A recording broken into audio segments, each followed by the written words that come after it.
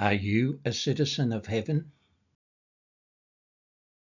We are citizens of the world by birth, but citizens of heaven by rebirth. We have in effect renounced our worldly citizenship when we receive the King of Kings into our hearts. We have become citizens of God's great heavenly city and members of the kingdom of God when we become Christians. Believers in Jesus, followers of Christ and his teachings, lovers of God and his word. We're citizens of a new world of love and life and happiness in Jesus forever. The Kingdom of Heaven. The only country that never did a wrong thing, or fought a wrong war, or persecuted the poor, or oppressed the weak, or polluted the earth.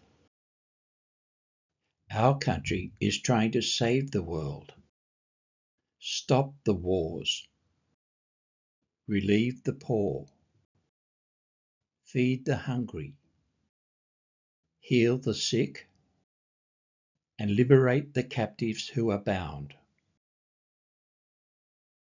We are citizens of the only righteous nation in the universe, the kingdom of Jesus Christ.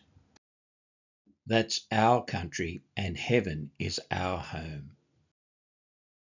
Are you a citizen of that city yet? Have you received your passport? Are you claiming your citizenship papers as a rightful citizen of that heavenly city? Your passport is Jesus. And your citizenship papers are the promises of God for your salvation. Your citizen application begins with a prayer as simple as this Yes, Jesus, I want to become a citizen of your kingdom of love. Please forgive me for everything that I've done wrong and that displeases you. Please come and live in my heart and fill me with your Holy Spirit and prepare me to be a worthy citizen of heaven. In Jesus' name, Amen. It really is as simple as that.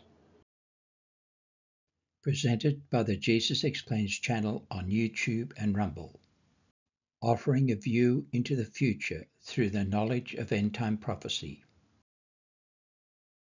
And endtimesofficial.com. That's endtimesofficial.com. The End Times Teaching Ministry where Bible prophecy is made easy to understand.